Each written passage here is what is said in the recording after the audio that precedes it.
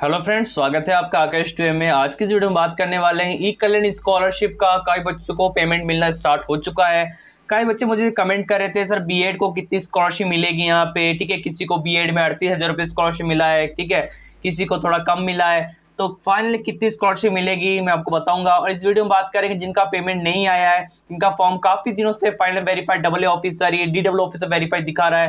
लेकिन उनका पेमेंट नहीं आ रहा है, वो बच्चे एक गलती ना करें, जिसका उनका पेमेंट अटक सकता है। और मैं कुछ आपको प्रूफ भी दिखाऊँगा इस वीडियो में। इसलिए वीडियो कंप्लीट देखना। अगर आप चैनल बनाए चैनल को सब्सक्राइब कीजिएगा लाइक कीजिएगा शेयर कीजिए। चैनल पर आपको स्कॉलरशिप वीडियोज़ और हेल्पफुल कंटेंट मिलता रहता है। तो मैं यहाँ पे, आप यहाँ पे स्टूडेंट सर्विस के ऑप्शन में जाके स्टूडेंट लॉगिन के ऑप्शन पे क्लिक कर लेंगे सिंपली ठीक है?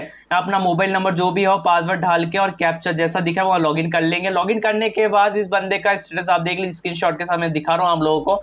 ठीक है? इस बंदे का application final verified by double A officer हो चुका है। इसको डबल ए ऑफिसर होते हुए दो से ढाई महीना समथिंग हो चुका है।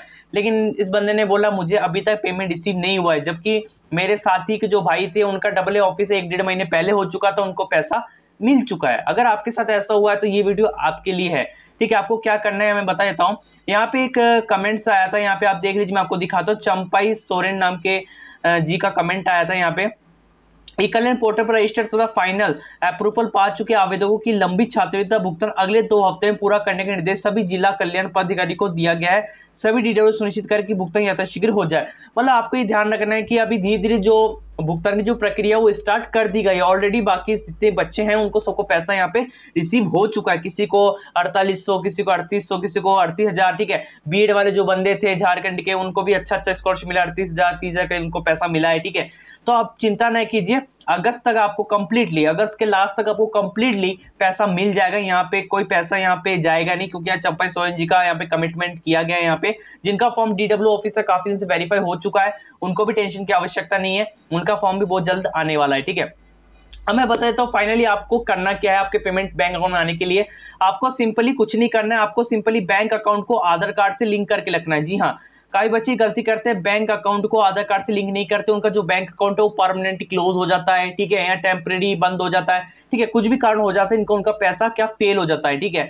आपको ऐसा नहीं करने का पेमेंट फेल होने के बाद दोबारा पैसा नहीं आता है, ठीक है, आप सबको पता ही है। तो इसलिए आप बैंक जाए, कुछ ट्रांजेक्शन करवा के आए, ठीक है, रोज कुछ ट्रांजेक्शन करें, दस, बीस, पचास, जितना आप हो सके, ठीक है।